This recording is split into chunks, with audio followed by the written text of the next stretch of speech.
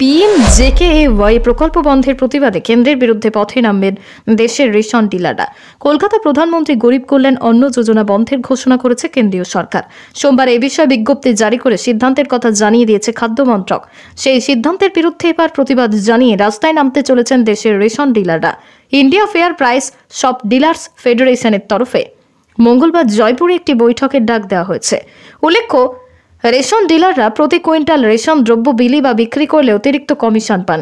সেই সঙ্গে খাদ্য সামগ্রী শেষ হয়ে গেলে যে বস্তা পড়ে থাকে তা বিক্রি করে অতিরিক্ত আয়ও করতে পারতেন তারা। কিন্তু প্রকল্পটি বন্ধ হয়ে যাওয়ায় একদিকে যেমন কমিশন থেকে বঞ্চিত হবেন তারা, তেমনি বস্তা বিক্রির সুযোগও তাদের কাছে থাকবে না।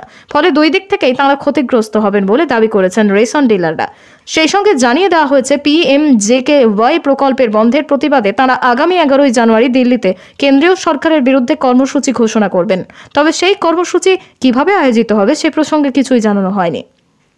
বিধায়ক কেনাবেচার তদন্তভার সিবিআইকে। প্রসঙ্গত, করোনাকালে দু হাজার কুড়ি সালের এপ্রিল মাস থেকে চালু হয় পিএম পিএম জেকে ওয়াই সেই প্রকল্পটি বন্ধ হয়ে যাচ্ছে চলতি ডিসেম্বরে। এতে গ্রাহকদের মাথাপিছু পাঁচ কেজি করে অতিরিক্ত খাদ্যশস্য বিনা পয়সা দেওয়া হতো।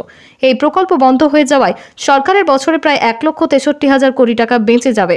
এতে গরিব মানুষ আগে যে সুবিধা পেতেন, তা থেকে বঞ্চিত হবেন বলে দাবি করা হয়েছে রেশন ডিলারদের একাংশের তরফে। তাদের কথায়, দেশের আশি কোটি মানুষ আর প্রতি মাসে বিনামূল্যে পাঁচ কিলোগ্রাম গম পাবেন না।